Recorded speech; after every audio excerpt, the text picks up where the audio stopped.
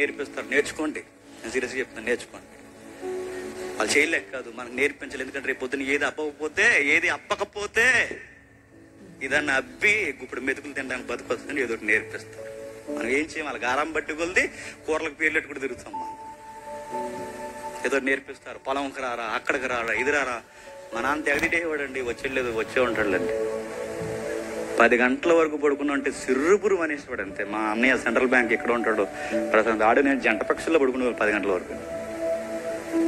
ఉదయం పది గంటల వరకు పడుకుంటే చెడ్డ సిరాక అనమాట మా నాన్నకి. ఫ్యాన్ ఆపేసి ఇంకా అదో రకంగా ఉండేలేండి రికార్డులు.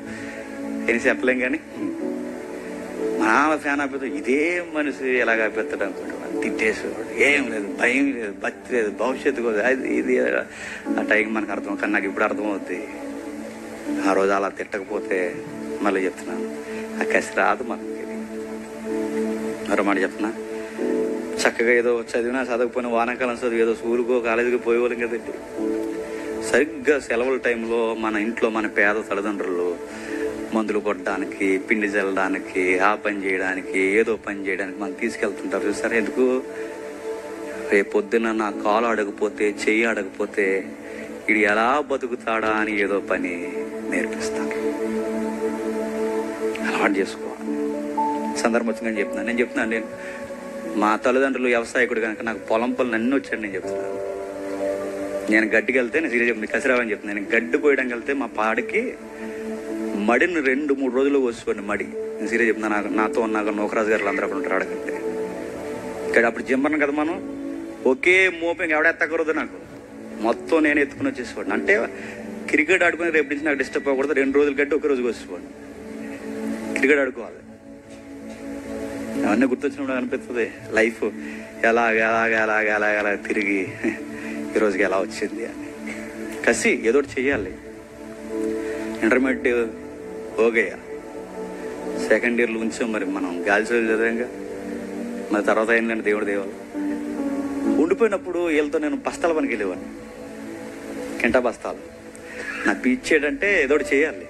కింట బస్తాలు మళ్ళీ మోసి టాటర్ ఎక్కించినట్టు కింట బస్తా అంటే మావులా సమానంగా మోసారు కసి. రెండు వేలు మూడు వేలు బస్తాలు ఆ పోట్లో ఊరి చెప్పిండు బస్తాలు ఎత్తాలి. ఎందుకంటే నాకు పిచ్చి సిక్స్ ప్యాక్ రావాలి. ఏదో కసి.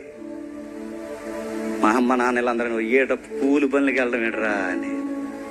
ఆ సీడ్స్ అన్ని జ్ఞాపకం వస్తాయి. మానేసం. బైబిల్ అప్పుడే పరిచయం అయింది. ఆ టైంలో సిగ్గేసేదండి ఆనందం నేను చెప్తాను సిగ్గేసేదండి.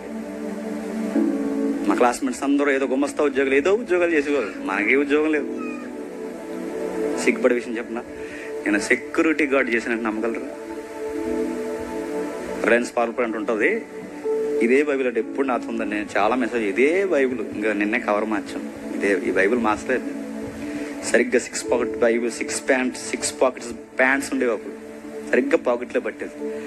అది పెట్టుకొని సెక్యూరిటీ గార్డ్కి వెళ్ళిపోయి నైట్ డ్యూటీలు ఎంచుకుని అక్కడ లోపల జీబులు కొంటే అక్కడ లోపల వేసుకుంటే ఆ నక్కలు తిరిగితే అన్ని తిరిగితే అవన్నీ మనకు అనవసరం నైట్ అంతా బయట జాబ్ చేయాలి. ఎందుకు ఈ జాబ్ అంటే త్వరలో నోటిఫికేషన్ పడుతుంది.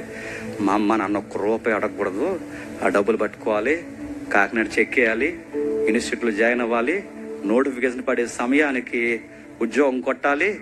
ఆ తర్వాత ఈ బైబిల్ నోరెత్తి చెప్పాలి. That is my goal success అయిపోయింది. అయిపోయింది. అనుకున్నవన్నీ కాలం జరిగిపోయాలా అంతే.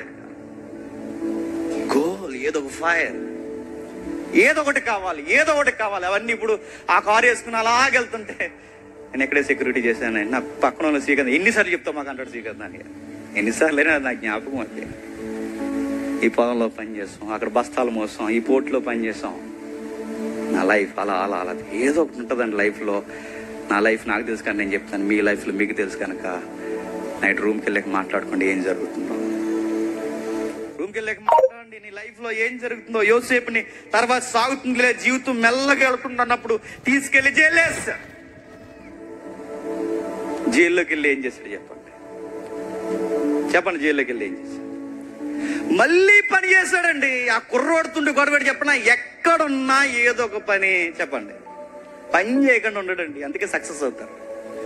ఎక్కడున్నా ఏదో ఒక పని ఏదో ఒక పని. యోసేపు సెమినార్కి వచ్చాడు అనుకోండి. ఆ ప్లేట్ అక్కడ పడేసి ఆ బకెట్ అక్కడ పడేసి తిరగడం. అవసరం మీద అందరు ప్లేట్లు ఎత్తాడు ఏదో ఒక పని చేస్తాడు ఇన్వాల్వ్ అవుతాడు వర్క్ చేస్తాడు. సక్సెస్ అవ్వాలని చూస్తాడు. విజయాలు రావాలని కాదు కానీ తనకు అలా అలవాటైపోయింది లైఫ్ అంతే. ఏదో ఒక పని జైల్లోకి వెళ్తే ఆవిడని పని చేస్తాడండి? చేస్తారా? మూలకు పోయి ఎలా ఉంటారు చెప్పిన జైల్లో? చెప్తున్నాను ఏనంటే జైల్లో ఎలా ఉంటారో తెలుసా? మూలకు పోయి వారను కూర్చుని బిక్కు బిక్కుమని చీకట్లు ఉండి వేసారిపోయి నేను చెప్తున్నాను రాత్రులు నిద్రవరండి ఏడుస్తారు.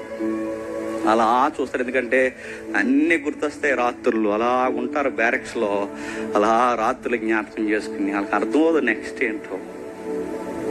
ఒంటరిగా కూర్చుంటారు ఆ మూలకు పోతుంటారు చీకట్లో కూర్చుంటారు బాత్రూంలో ఎక్కువ టైం ఉంటారు. ఇవన్నీ ఎందుకంటే ఇసుకుపోతారు. లైఫ్ ఎలా అయిపోయింది కానీ యోసేపు చూడండి జైలుకి వెళ్ళినోడట నాకు చాలా విచిత్రంగా ఉంటుందండి జైలుకి వెళ్ళినోడట ఖైదీగా వెళ్ళినోడు తోటి ఖైదీలకి అధికారి అయిపోయాడట దట్ ఈజ్ సక్సెస్ గుర్తుపెట్టుకో. అయిపోదాం అంతే. ఎక్కడ ఉన్నా ఏదో ఒక పని చేయాలి. ఏదో ఒక పని. అది చిన్నదా పెద్దదా చిన్నదా పెద్దదా. సంథింగ్ ఒక రోజు నా లైఫ్లో ఆ డ్రీమ్ జరుగుద్ది. అప్పటి వరకు నేను ఖాళీగా ఉన్నా డ్రీమ్ కోసం ఇంకా డ్రీమ్స్ కంటూ ఉన్నాను ఏదో ఒక పని. చేస్తా. పని చేయనోడు నేను చెప్తానండి సిగ్గుమాలనుడు అయిపోతాడు ఒక రోజుకి. పని చేయనోడు చెప్తున్నానండి పనికి మాలనుడు అయిపోతాడు ఒక రోజుకి. పని చేయనోడు అంటున్నానండి కుటుంబాన్ని రోడ్డు మీద పడేసేస్తాడని చెప్తున్నాను.